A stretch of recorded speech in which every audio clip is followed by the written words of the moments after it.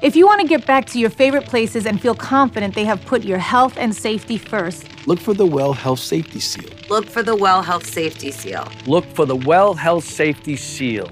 I'm Dr. Richard Carmona, the 17th Surgeon General of the United States of America. This is the Well Health Safety Seal from the International Well Building Institute, the global authority on healthy buildings. The Well Health Safety Rating was informed by years of research and input from hundreds of leading virologists, public health experts, epidemiologists, and building professionals around the world. You'll see it at schools, offices, banks, childcare centers, all the places we go. The Well Health Safety Seal means that we'll feel better going into restaurants, theaters, stores, hotels, stadiums, and all the places that we love.